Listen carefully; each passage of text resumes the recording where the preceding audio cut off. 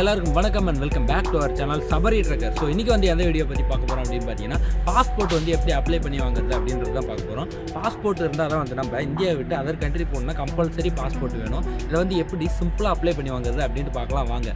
First நீங்கள் passport வாங்கணும்னா ஆயிரத்தி ஐநூறுரூபா வரும். அது வந்து பாஸ்போர்ட் ஆஃபீஸ் கேந்திரா ஆஃபீஸில் வந்து அந்த சப்மிஷன் வச்சுருக்கோம். ஆயிரத்தி ஐநூறுரூபா டேக்ஸ் uh, வந்து பே பண்ணோம் அப்படின்ட்டு.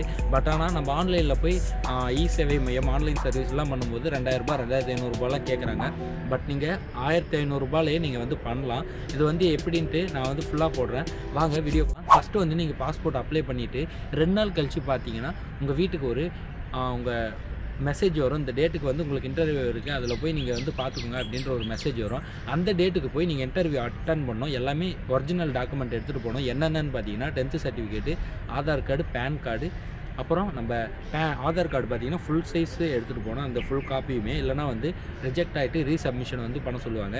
இதை பண்ணி முடிச்சுட்டு ஒரு வாரம் கழித்து ஒரு வாரத்துக்குள்ளேயே வந்து நம்ம போலீஸ் ஸ்டேஷனில் அந்த லோக்கல் போலீஸ் ஸ்டேஷன்லேருந்து நம்ம நம்பருக்கு வந்து கால் பண்ணுவாங்க. எந்த நம்பர் கொடுத்துருக்கீங்களோ அந்த நம்பருக்கு கால் பண்ணுவாங்க.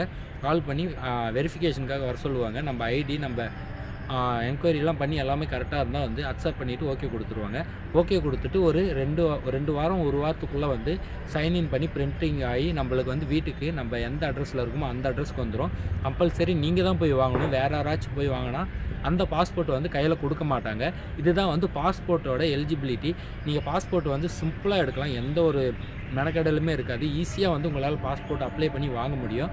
இந்த மாதிரி நிறைய விஷயங்கள் வந்து இருக்குது பாஸ்போர்ட் வச்சுட்டு நிறைய நாட்டுக்கு போகலாம் இப்போ வந்து நிறைய நாட்டில் நாட்டுக்கு வந்து இந்தியாவிலேருந்து ஃப்ரீ விசா வந்து விட்டுட்டாங்க.